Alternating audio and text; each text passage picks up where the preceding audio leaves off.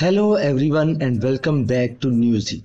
Today we are diving into a special moment involving Princess Leonor of Spain during her first official trip abroad. Let's explore her heartfelt remarks at the luncheon hosted by President of Portugal. Princess Leonor, during her visit, expressed gratitude and nostalgia for the warm welcome she received in Lisbon. Let's take a closer look at what she had to say. Excelencia. Muchas gracias, señor presidente, por sus amables palabras, por la hospitalidad y por el inmenso cariño con los que me estáis recibiendo aquí, en Lisboa, en Portugal, en mi primer viaje oficial al extranjero.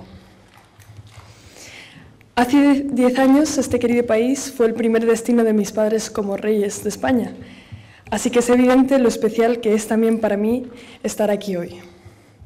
Ellos, que han venido en tantas ocasiones, me han hablado con gran afecto, con saudade, de sus visitas a Portugal, del cariño que han recibido en sus calles y de cómo habéis hecho que se sintieran siempre en casa. Así me siento yo hoy. Este es un viaje que, que esperaba con muchas ganas y me siento muy feliz. Esta mañana he conocido el monasterio de los Jerónimos y la tumba de Luis de Camués, y estoy deseando ir esta tarde al Oceanario de Lisboa y charlar con los jóvenes científicos que trabajan allí para reflexionar juntos sobre nuestro futuro y el de nuestro planeta. Portugal y España comparten una vecindad que va mucho más allá de la simple proximidad geográfica. Es una vecindad que abarca muchas dimensiones y que se traduce en una, en una amistad sincera y respeto profundo y mutuo entre nuestros dos países. Quero fazer um brinde a, esta, a estas magníficas relações, a Vossa Excelência, querido Presidente Rebelo de Souza, e ao querido povo português que tanto estimo.